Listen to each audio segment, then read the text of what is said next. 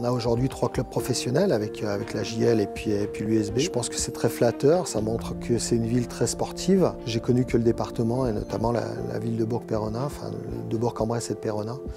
Et, aujourd'hui, c'est vrai que j'y suis très fier d'y avoir fait progresser ce club parce que bah, on peut dire que c'est mon club aujourd'hui et que j'y suis très attaché. Donc c'est avec grosse fierté aujourd'hui que, que j'ai pu accéder à ce niveau-là avec, avec le club dont je suis, donc dont je suis issu en tant qu'entraîneur en tout cas. Ah, moi c'est vrai que j'aime bien manger, je ne le cache pas, donc c'est vrai qu'en termes de gastronomie aussi, on fait vraiment de, la bonne cuisine en, Bresse, donc euh, c'est vrai que pour ça, moi j'y suis, suis très attaché aussi.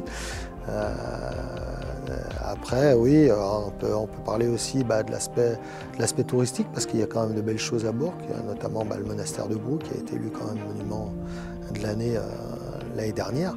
Donc, euh, donc, voilà, il y a plein de choses à visiter. C'est vrai que c'est voilà, un, département, un, territoire où on s'y sent vraiment bien vivre. Euh, moi, je sais que voilà, j'y suis vraiment bien. c'est ma source. Il y a toute ma famille et, et voilà, je m'y sens vraiment bien.